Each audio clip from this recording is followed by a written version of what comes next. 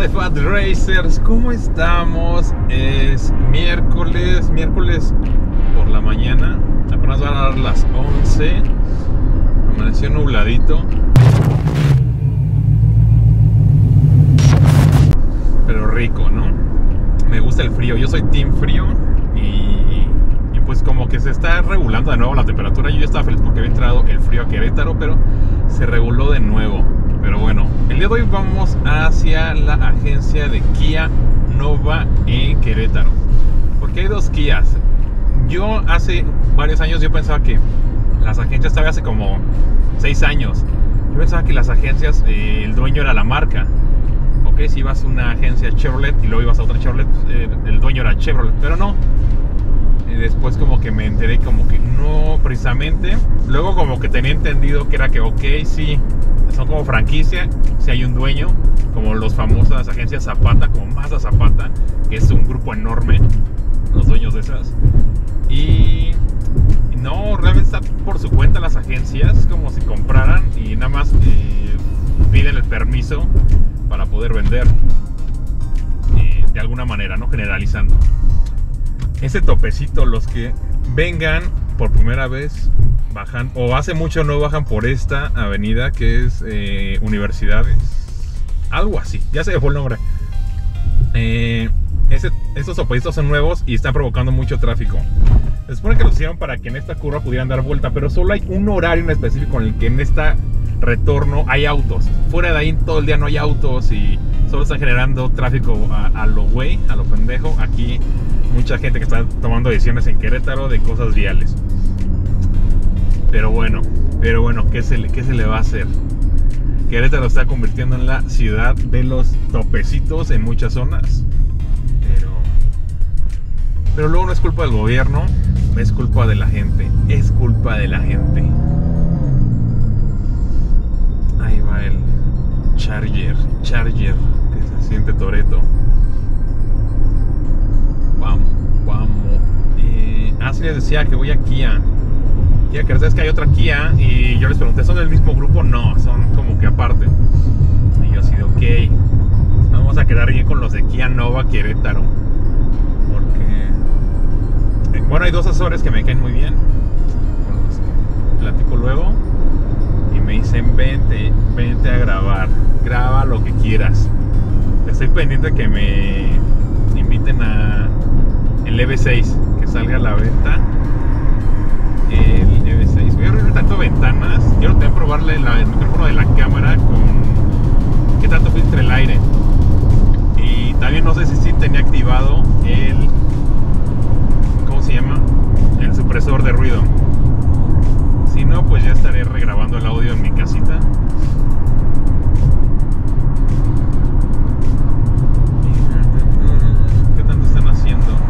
están limpiando la calle?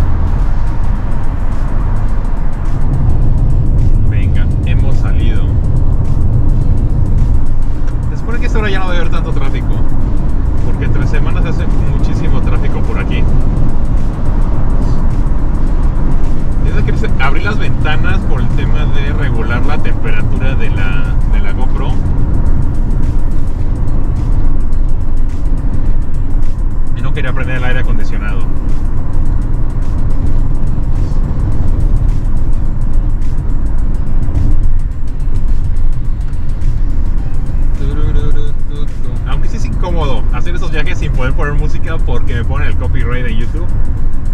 Pero normalmente yo estaría con mi musiquita feliz de la vida. Estaba escuchando la de Footloose antes de que antes de que pasara todo esto, de, de empezar a grabar. Dodge Journey, Volkswagen Jetta. ¿No jugaban ustedes luego con sus amigos a ir nombrando los modelos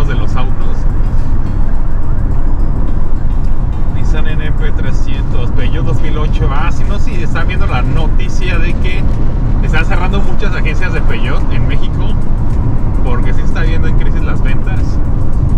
Mira, así es como se debe hacer todo. O sea, si fuera carretera, aquí no, aquí puedes ir en el carril que quieras, ¿no? Pero si fuera carretera, vas en el carril de alta, que es, pero solo es para rebasar, rebasas y te vuelves a incorporar en medio. una vez que alcanzas, o sea, si quieres manejar rápido, una vez que alcanzas al de adelante, ya estando en medio, otra vez te vuelves a salir te vuelves a integrar. Y así nunca estás estorbando en el carril de rebasar. Mira, ahí va el del Toreto y feliz de la vida. Él puede ir rápido y yo no le estoy estorbando y yo también voy a una velocidad que quiero. Y ahorita nadie me está estorbando aquí.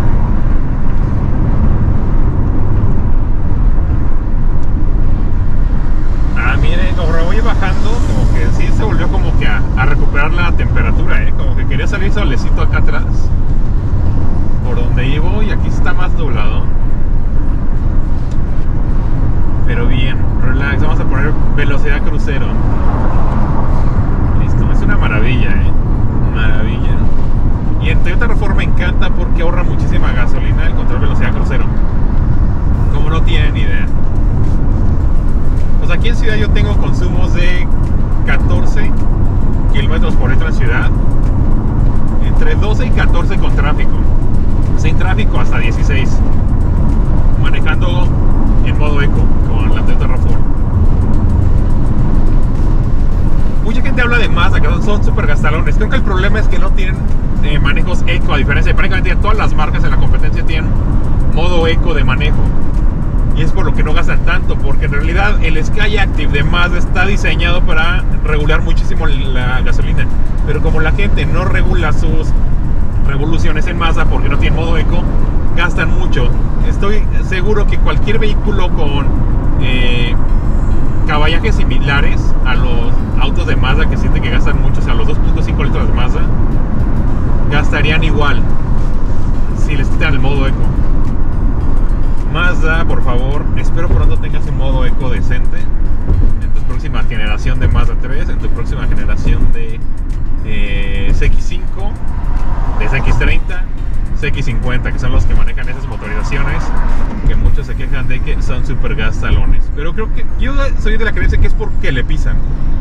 Porque el usuario promedio de Mazda de, trae esos motores y le quieren pisar porque se siente divertido, porque trae más potencia que el promedio de la competencia, ¿no?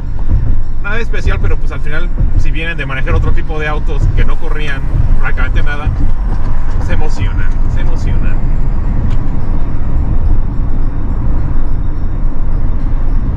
También la magia de mucha gente no, no frena con motor muchas veces y aquí de la magia de muchas veces la velocidad secuencial creo que yo lo utilizo más para eh, frenar con motor en pendientes que aquí que hay mucha pendiente en muchas partes pronunciadas más que para por velocidad.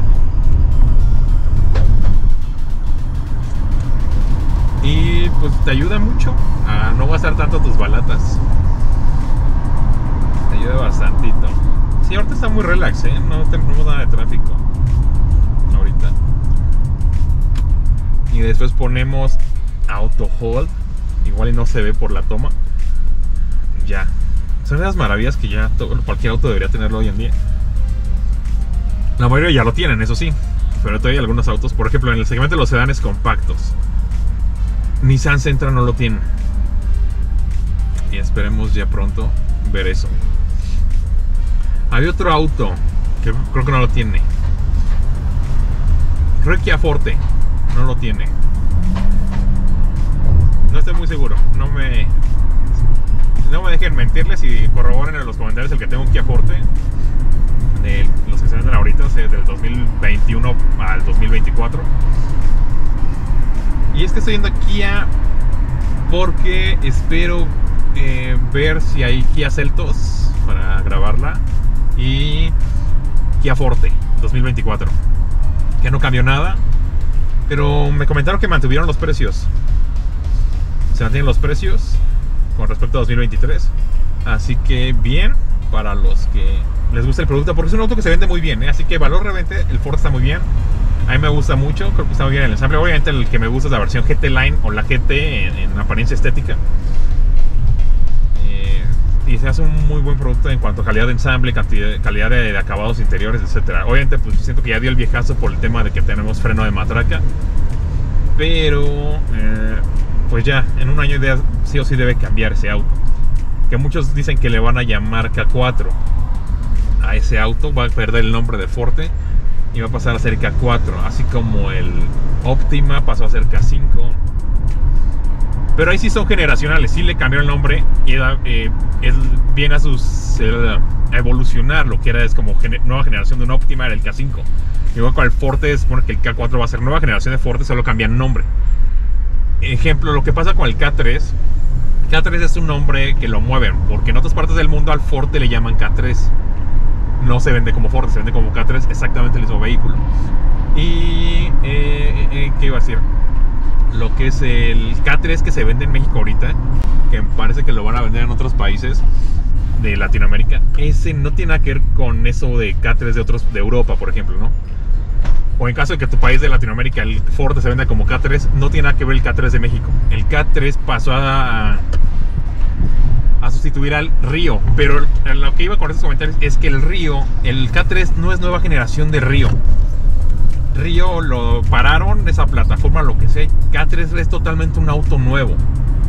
Lo que único que tengo entendido que recuperan es la, la motorización, es la que está compartiendo.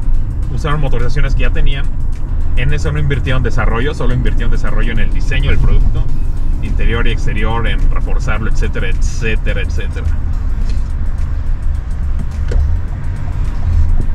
Y ahí estamos. Ay, entrando a Bernardo Quintana. Eh, no hay tráfico, no hay tráfico. Solo gente que quiere manejar lento. Y es como de pongan direccionales, que intermitentes, perdón, o direccionales también puede ser, ¿no? Si van a ir lento y de la nada dices, se van a frenar en chinga y van a estar así como que a un lado. Sé cuál es su problema de decir, voy a ir lento, lento así a lo bestia.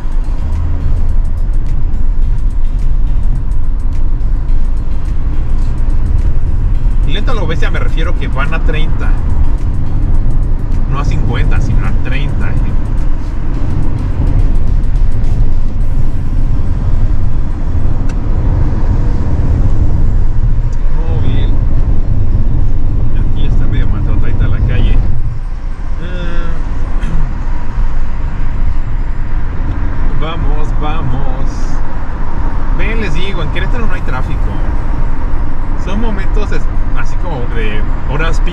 y, como lo mencioné en el otro video, no es por el parque vehicular que hay en Querétaro, es porque manejan feo. Punto.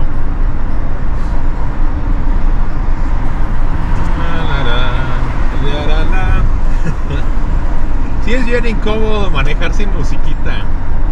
Bien incómodo. Vamos a salirnos por aquí. Honda X, BRB se llama esa, ¿no? De la vieja generación, que no se vendió nada. Y la nueva, supongo que tampoco se va a vender nada. Aunque evolucionó como producto, es como, no te vas a vender nada, amiga. No te vas a vender, lo siento. Lo siento.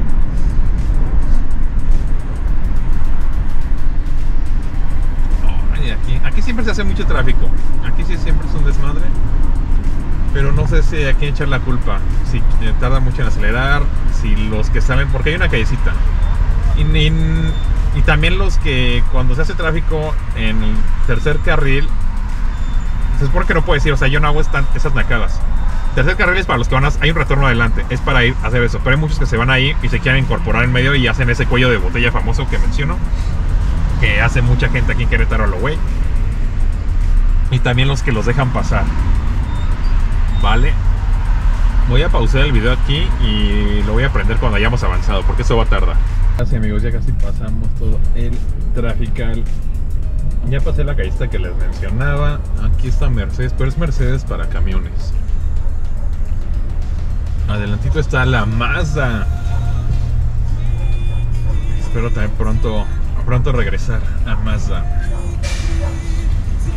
porque mucha gente me pide que graba el Mazda 324 y Gran Touring y yo así de eh, pues no cambia nada del anterior solo la pantalla pero la gente se emociona no pero también obviamente sí quisiera grabar no pero luego no tengo tiempo tengo que trabajar. Uno no vive de esto uno es como que la pasión. Y pues uno se pone la camiseta para ustedes no pero hoy toca ay quito la música. Hoy toca Kia Hoy toca Kia. Bueno, hoy es como, hoy es blog, blog, podcast, como lo quieran ver, video podcast, como lo quieran, le quieran llamar ver. Aquí andamos. Eh, esta gente aceleren. Honda HRB. Pensar que esta Honda era en el segmento de las SUVs del segmento B fue la más vendida también mucho tiempo. Mucho tiempo estaba en los primeros lugares. Estaba creo que debajo de Kicks nada más. Estaba en segundo lugar muchos años. Cuando llega la Celtos le quita el lugar, pero todavía se vendía mucho tiempo. Esta, si es que alcanzan a ver la HRB de frente. Pero llega la nueva generación y ¡pum! se va en picada. Todos los autos Honda que están ahorita, una vez que cambiaron a la generación que está actualmente, ¡pum! se han ido en picada las ventas. Honda Civic se vendía bien, tampoco era el superventas, pero se vendía muy bien. ¡Pum! hacia abajo. Honda CRV era el superventas, ¡pum! cayó en ventas. Todavía se vende bien, pero no lo que vendía antes. No lo que vendía. Ya no. Ya no es ese modo de premiarla. Porque hace mucho tiempo su eslogan lo tenían como de la SUV más vendida de México. Así lo ponían en su publicidad. Ya no pueden hacer eso. Ya no pueden. Ya no pueden. Y es triste. Por la marca. Pero bueno, más que nada por la marca, no, estoy por los fans, por los fans de la marca, por los que morían por un Honda y un día estaban ahorrando de repente un día les dijeron, nueva generación y se emocionan y luego, ¡pum! Nuevo precio, subimos 100 mil pesos. Y es así como, ok, ok. Pero bueno, pero bueno. No sé si la cámara alcanza a ver, ahí está la Mazda. Voy a pausar de nuevo el video, mis hermanos, porque aquí hay mucho tráfico. Ya estamos por llegar, ya estamos por llegar, se está terminando el video del día de hoy. Aquí estamos quedan las nacadas.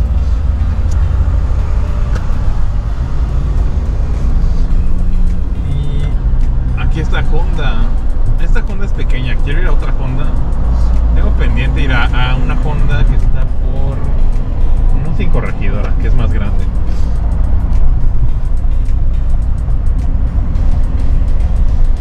Luego está Renault, que nunca voy, nunca he ido, nunca me han dado ganas de venir a Renault. Y luego la Toyota, donde luego vengo a mi servicio. El de cada 6 meses o 10 mil kilómetros. Y luego está Kia. Espero les haya gustado el, eh, la plática el día de hoy, mis hermanos. Yo fui Franz, pásenla excelente. Bye, bye, bye. Esta es la llavecita, amigos, para el que no la conocía.